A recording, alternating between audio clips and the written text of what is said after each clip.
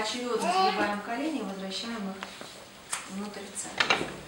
Здесь есть определенное ощущение давления да, на коленном суставе, когда мы убираем Есть оно. Присутствует. Можно немножко вот размять ножки, чуть-чуть, просто снять напряжение. Угу. Вот, очень хорошо. Давайте теперь непосредственно, мы сейчас попробовали очень хорошо проработать структуру ног, самих ног, и затронули уже крестец и поясницу. Давайте мы сейчас пойдем чуть глубже в крестец и поясницу. Переходим в положение на четвереньки.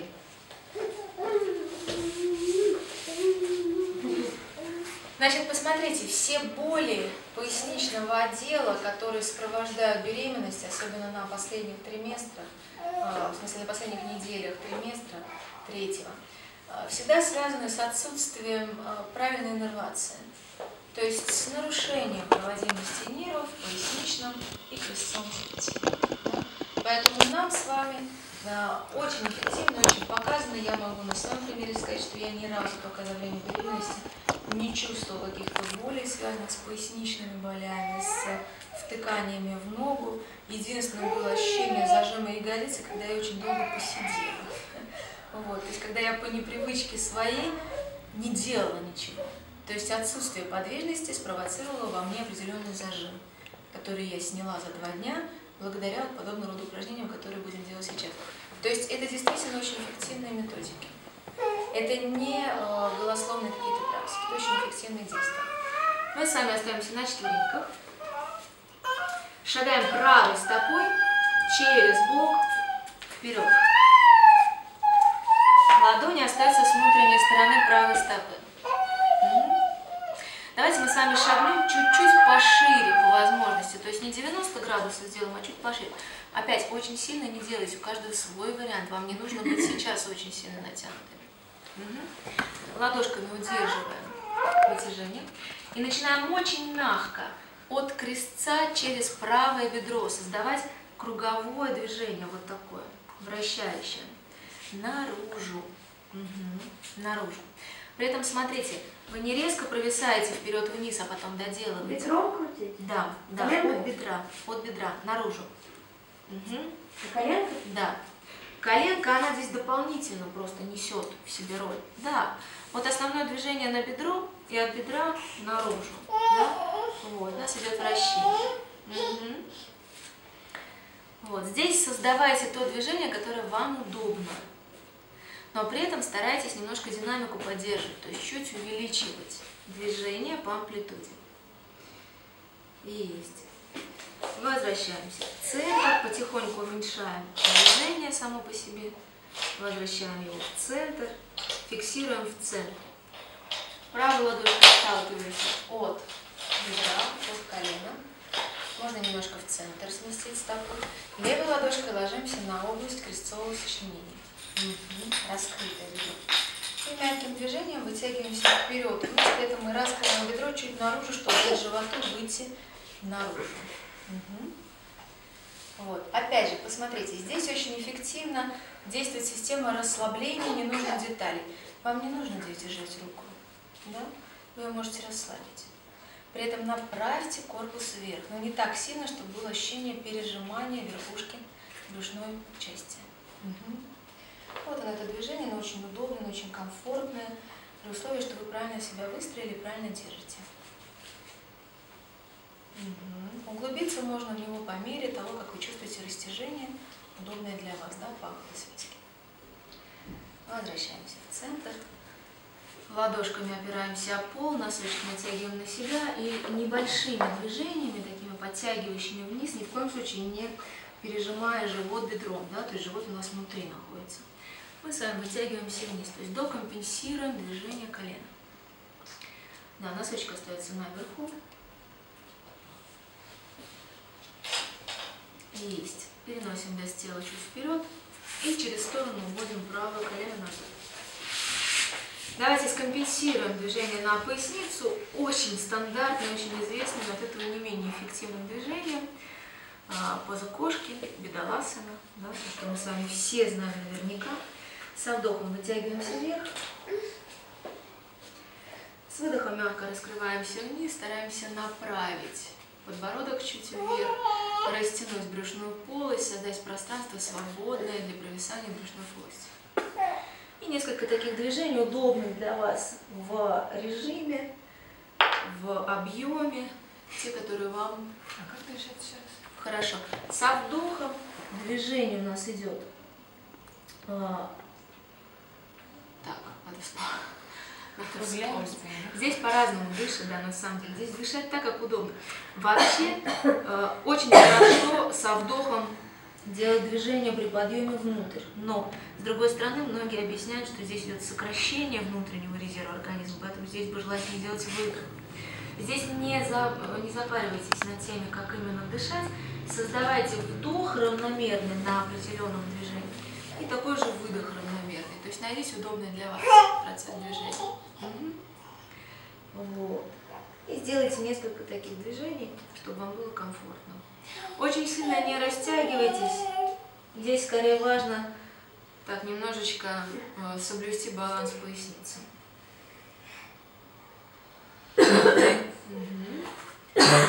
Возвращаемся в центральное положение и шагаем левой стопой вперед. Чуть увеличиваем раскрытие бедра чуть больше, чем 90 градусов. Да, под коленку, если надо что-то подложите, если очень тяжело. Угу. Ладошки с внутренней стороны левой стопы, левая стопа чуть наружу у нас с вами. Вытягиваем таз чуть вперед и вниз. И начинаем мягко вращать бедром наружу. Левым бедром рисуем круг от тазобедренного сочинения. Угу. При этом мы провисаем вниз, да, немножко, чуть назад уходим. Это очень комфортные движения, их можно выполнять на любом сроке беременности, если нет, конечно, противопоказаний в первом триместре и в третьем триместре. Ну, противопоказаниями вы знаете, какие могут быть в первом триместре, да, нарушение а, приживаемости, скажем, плода, то есть угроза выкидыша. Вот. В третьем триместре, если это расхождение лобкового симфиза, тоже не всегда комфортно это движение и нежелательно. Вот. В остальном это очень хорошая практика, которая готовит хорошей эластичной а, ткани а, органов малого таза. Есть. И возвращаемся в центр. Левой ладошкой опираемся о колено, подтягиваемся вверх мягко. Правую ладошку на крестец. И с выдохом очень аккуратно углубляемся в движение вниз. Немного вытягиваемся вверх от поясничного отдела. На расслабленная левая рука, она у вас спокойненько стоит на бедре. Таз натягивается вниз так, как ему удобно. По мере продвижения ваши ощущения старайтесь добавить немножко нагрузки.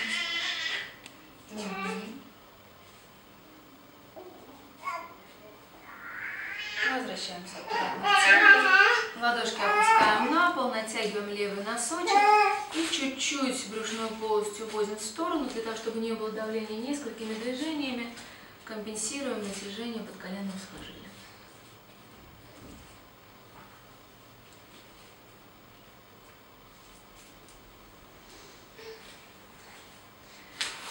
Есть. Переводим ладошки вниз, уводим левое колено назад. И буквально 3-4 раза еще совершим цикл бедоласаны, позу кошки. Так, чтобы вам было удобно. Довыравнивайте всегда ощущения в пояснице, для того, чтобы она у вас развивалась гармонично.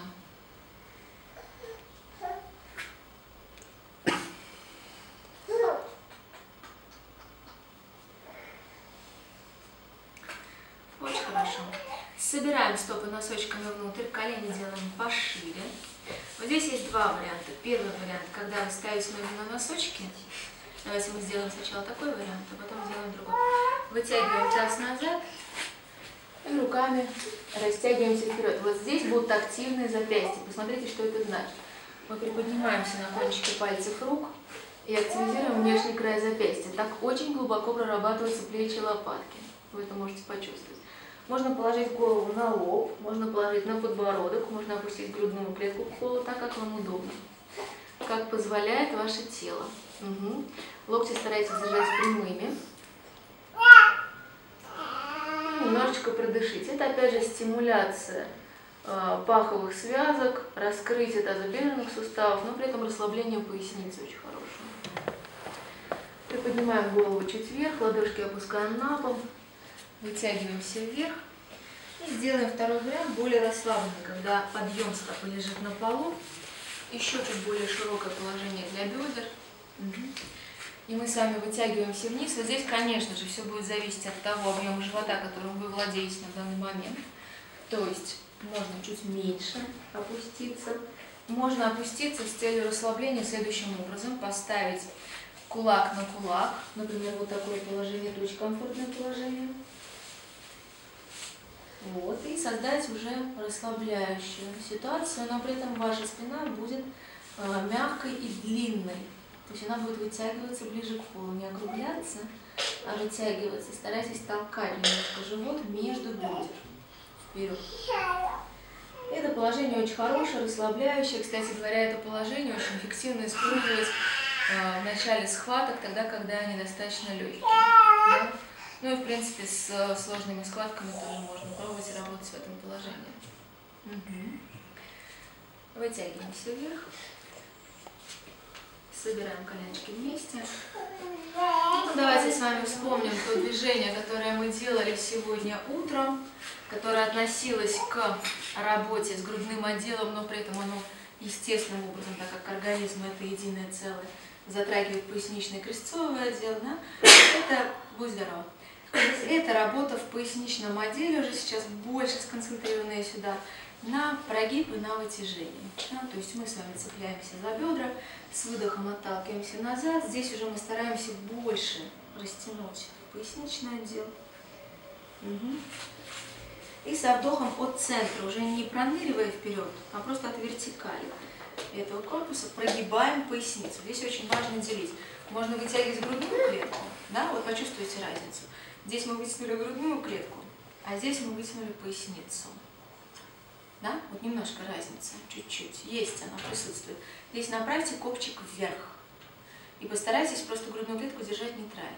Вот оно, движение, направление копчика вверх. Угу. Углубляем его обратно внутрь и вниз. Уводим вытяжение. И со вдохом нейтральное положение спины и подтягиваем хвостик вверх. Сокращаем поясничный отдел, усиливаем здесь движение. Угу. И поделаем только локально это движение. Внутрь, чуть-чуть, спина уже достаточно нейтральная. И вверх, на растяжение. То есть это такой вариант э, мула бандха, но с таким вот соединением езды седалищными косточками по пяткам. Да? Вот очень хороший вариант. Очень хорошо работает тогда, когда у вас есть тренировочные схватки или схватки уже легкого периода первого, или уже переход к таким более интенсивным схваткам, очень хорошо работает для того, чтобы расслаблять. А стоя так делать можно? Мышечные структуры. Можно делать так стоя, но стоя mm -hmm. скорее будет немножко больше работать мышцы ног, будешь больше уставать. Вот, потому что здесь а, в положении сидя, да, есть определенное вот это вот сжимание голени и такое немножко нервирующее ощущение, но в положении стоя будет работать больше корпус. Можно делать так, как удобно. Можно и так попробовать. И так. Вот. Просто мы сейчас с вами находимся в положении сидя, и почему бы не сделать сидя? Да, чтобы вас тоже лишнего не дергать, чтобы у вас было все логично. Есть, это есть. Очень хорошо. Теперь давайте мы с вами немножко коснемся работы тела касаемо нагрузки и снятия, вернее, нагрузки с печени и с почек потому что именно эти органы очень сильно подвержены а, каким-то изменениям во время беременности. Да? Почки несут на себе очень важную нагрузку во время беременности, они призваны с большим усилием, с большим количеством очищать, выводить, а, фильтровать мочу. Печень призвана тоже а, понижать э, выработку гормона эстрогена, да, содержание эстрогена, мы с вами об этом говорили, это не хороший гормон с точки зрения хорошей беременности, то есть это не совсем важный нам гормон в это время. Поэтому мы с вами должны обязательно воздействовать на внутренние органы, знать, как это делать, и это делать самое главное. Я сейчас вас научу, как это делать. Разворачивайтесь по длине коврика, вот как я сейчас стала. Значит, есть очень хороший вариант, который используется в практике классической практики йоги, в практике пренатальной йоги, в практике йога-терапии. То есть это все вот наши варианты. а, так называемая парикхасана. Парикхасана – это поза ворот. А вот. Почему она так называется? Потому что здесь а, ну, человек образует так, половинку ворот, как кажется древним людям, которые назвали эту асану, исходя из ее видоположения. Что нам нужно здесь с вами сделать? Мы с вами в опоре на коленях, левой ладошкой упираемся в пол на расстоянии приличному от колена опорного. Угу. Ладонь направлена пальцами вперед. Выставляем правую ногу в сторону. Посмотрите, есть два варианта. Есть вариант постановки на ребро стопы внутренне. Есть вариант постановки на стопу целиком. Выберите удобнее, вот в котором увереннее себя чувствуете упорно. Вот это выберите. Растягиваем корпус. Растягиваем. И удлиняем свободную правую руку вперед и вверх. То есть мы выстраиваем с вами длинную такую линию. Вот кончиком пальцев руки через бок. Не заворачивайтесь слишком сильно, здесь надо держать себя раскрытыми. Здесь важно растянуть бок весь. Пальцы активные, напряженные. Пальцы активные. Ладонь направлена внутрь. А стопа опорной ноги она куда? Стопа опорной ноги либо на ребро стопы, либо ну, полностью прижата к полу. Другая. Другая. Ну, что здесь? Там просто. Куда а, все, она направлена назад и все. Стоять на пальцах или полностью? А, у меня стоит стопа на подъеме. Можно пробовать и опору на пальцах, как удобнее. Угу. И немножко разверните взгляд. Немножко разверните взгляд из-под правой руки вверх. Чуть-чуть.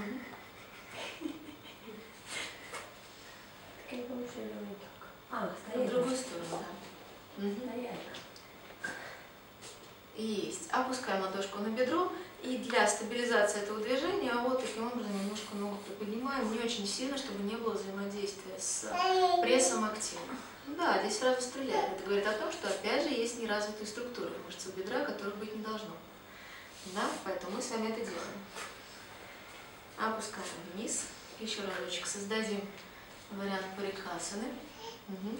Ладонью опорно отталкивайтесь от пола. Разворачивайте тело, растягивайте его. Животу здесь очень хорошо. Угу. Опускаем ладонь на бедро и вытягиваем стопу. Стопа носочком на себя. Угу. Все, выше никак. Легко. Легко не надо. Мне вот, вот эти колебания не нужны. Надо, чтобы было все достаточно четко. Опускаем ладошку на пол, переносим тело на другое колено.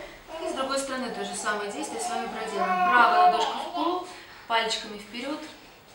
Левая стопа параллельно длинному краю коврика, стопа либо на ребро, либо на внутренний край.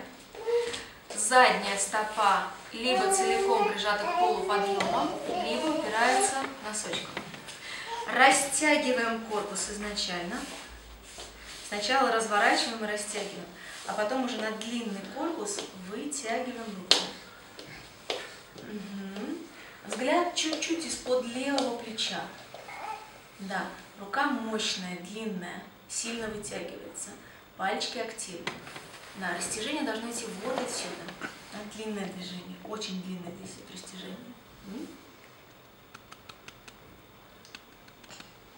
Есть. Опускаем ладошку на бедро, мягко. Корпус не скручиваем внутрь, да, не роняем плечо. И вытягиваем левую ногу, фиксируем. Вот это втыкание в бедро нормально, просто не доводите до ощущения, когда вы не можете держать. Опускаем. Еще разочек доворачиваем спину, чтобы было вытяжение. Начинаем длинно вытягиваться в спину. Шею не перенапрягайте. Если чувствуете перенапряжение в этом положении, опустите вниз голову таким образом.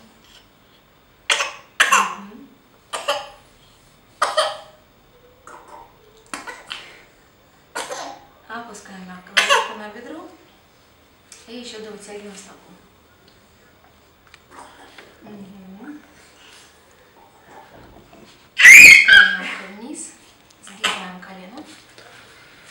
Есть, вытягиваемся в положении, стоя на коленях равномерно.